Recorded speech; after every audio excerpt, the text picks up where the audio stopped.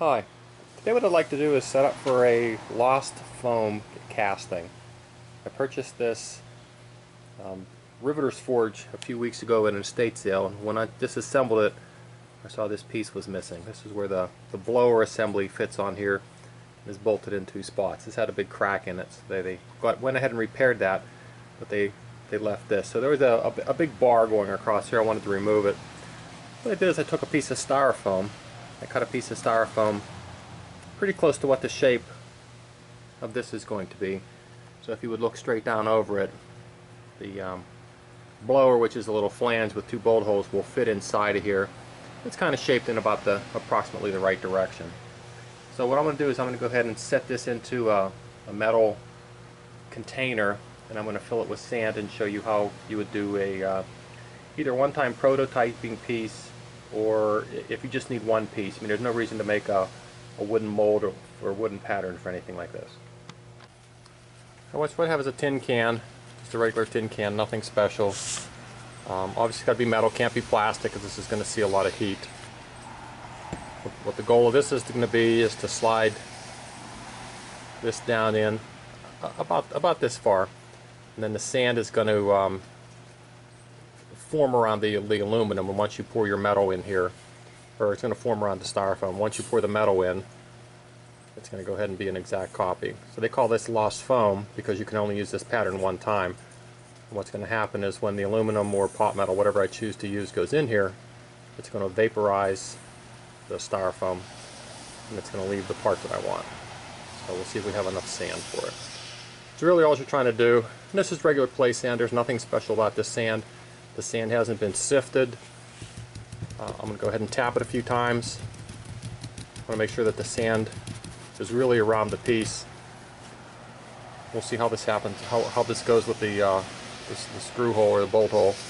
It's going to go in. You don't have to ram this like you would a regular pattern.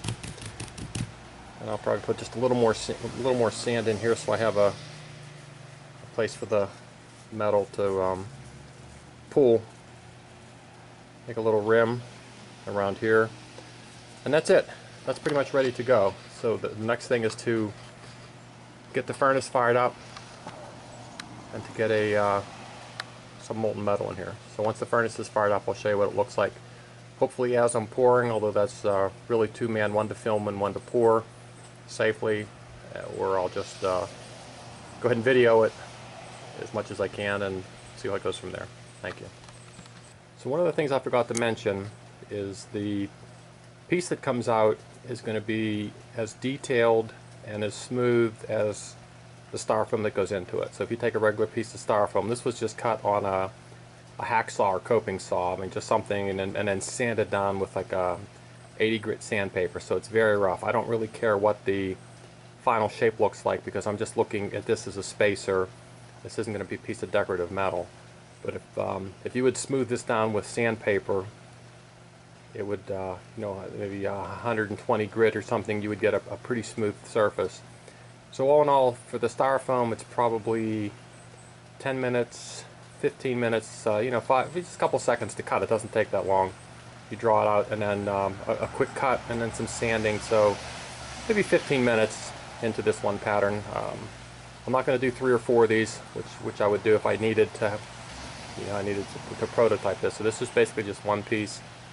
And um, really not much time in it. So if you're just looking for something quick to do, and then I may just use die cast, zinc die cast pot metal on this. It's got a lot lower temperature, uh, melting temperature. I could probably do that with a propane torch, but we'll heat up a pot in the forge. We'll go ahead uh, and get some, uh, some metal molten. Well, today what I want to do is threefold. First off is with old Riveter Forge um, want to show that you can actually use firewood, some charcoal and firewood, and get a, a fire hot enough to, uh, to do what you need to do. Got a good strong wind today too, so we have the external blower. Again, this piece is broken off. I'm going to try to go ahead and cast a new piece out of pot metal, or zinc die cast, which is in the, the pot that I got. Of First pot got from uh, State Sale, forge I got from State Sale. So we're going to go ahead and do that. Second is a, uh, a leaf spring, which is buried inside down there. It's uh, still coiled up, it's cut off. I'm to go ahead and flatten that using this flatter tool. Strange thing about this, when I bought it, the, the handle was curved, handle broke off. I went and carved a new handle, and when I carved it, the handle bowed, so I'm assuming that's the way this thing needs to be, is bowed.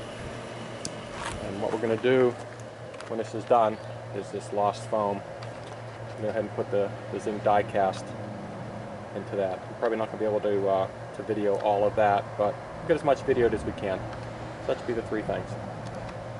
Alright, it's been about 15 minutes. Got a good set of embers in here. It's probably not hot enough, but it's getting close. Probably another two or three minutes, maybe five minutes. We'll let that uh, maybe scoop some of the dross off the top of it. The dross is just the oxidized metal. And then uh, we'll be able to pour. So if I do this right, adjust the camera, you can actually see the pour. Really not much to see. All it's going to be is metal going in. You'll see a puff of smoke. The uh, zinc die cast will vaporize the uh, styrofoam and then there'll be some uh, metal left on top, like a little cap. Alright, so this is ready to pour.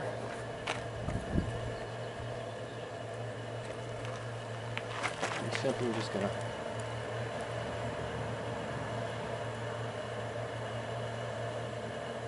all the molten metal in there. Dump that. And that's done. Really not much more to see than that. Come back in a couple minutes after that has had a chance to set, cool down, and we'll, uh, we'll pull the part out. So again, what you're going to see is um, stuff on top. Where the foam was, the foam is now uh, been vaporized by the pot metal, the zinc die cast, and it'll just, um, just be a duplicate of what I wanted. Thank you. So what I'm really trying to do is in the past I've made wooden patterns. This was a bearing for uh, my John Deere tractor. I needed a bearing housing because the original one cracked. So you have to make this out of wood. You have to put a draft in there which is an angle so that you can remove it.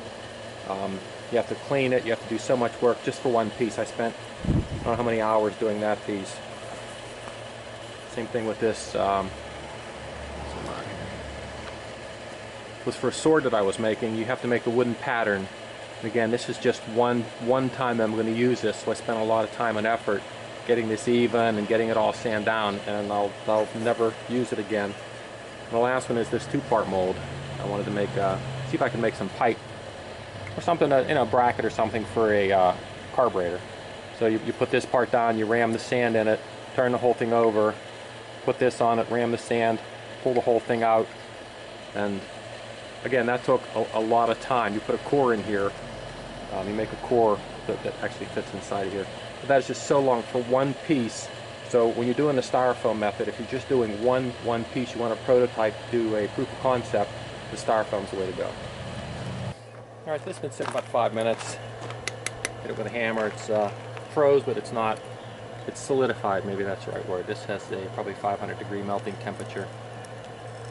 If I was pouring this into sand, it would have been a lot hotter. But what I have now just a cast. We had not cut the sprue off of here. This now will become part of the blacksmithing forge. Just an adapter that I needed.